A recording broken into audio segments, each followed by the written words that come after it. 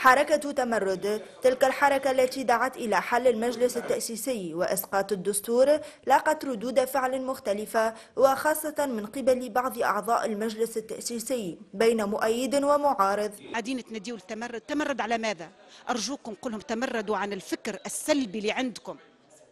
تمردوا عن هذه على هذه الدعوات للهدم. هدم ما نحن نبنيه. هذا ليس تمرد. هذا ما أخشاه أن يكون هدما لما نحن نبنيه. هم وليداتنا هم شباب لكن نقول لهم فيقوا. ما تخليش البعض يسوق عن طريقكم عن طريق آه، حسن نيتكم عن طريق ربما مع قلة تجربتكم.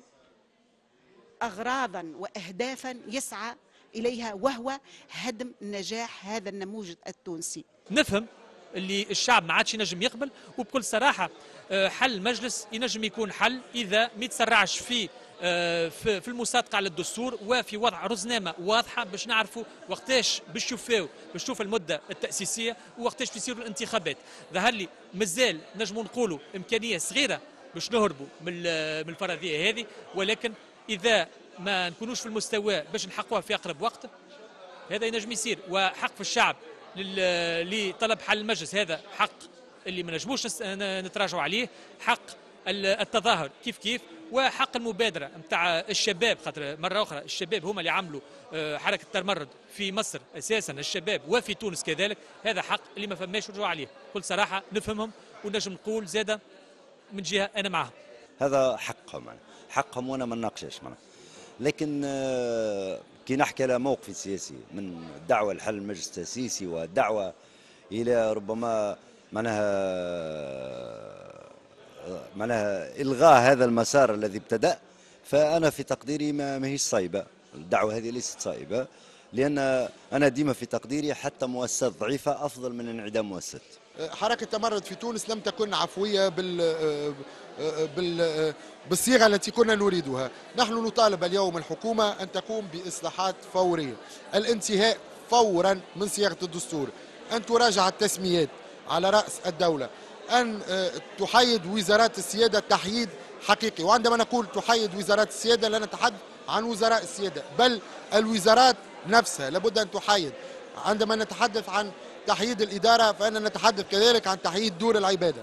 عندما نتحدث عن هذا كله فإنه نطالب كذلك بوقف العنف الممنهج ضد النشطاء السياسيين الذي يحدث في تونس وضد نشطاء المجتمع المدني. أن تحل كل الميليشيات التي موجودة اليوم في تونس.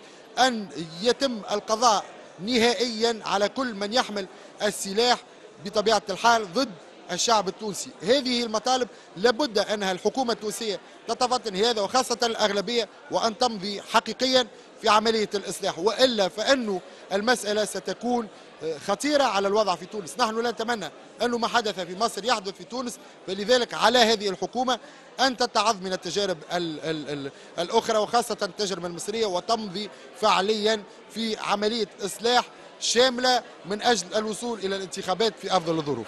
حركة تمرة تو فما ناس يقولوا بأنه هو مش ننسجوا على منوال آه، مصر. أنا مش نقلدوا راه فيما يخص آه، هي الثورة علاش قامت؟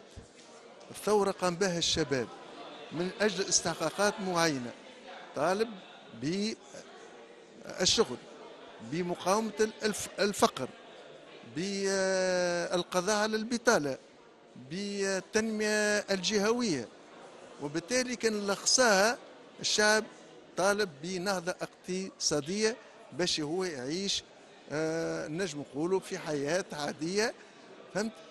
نشوف الشباب هذايا تو منذ سنتين أي الأهداف الثورة لم لم تحقق. وبالتالي الشباب هو حتى لي أنا عم صالح بصفتي عضو في المجلس التأسيسي من حقه باش يقوم عليا لأني لم أحقق له المطالب نتاعو ورغم جمع هذه الحركة لآلاف الإمضاءات إلا أنها تبقى محل شك للعديد الذين يعتبرون أنها غير عفوية ويوجد من يسيرها ومن هم وراءها.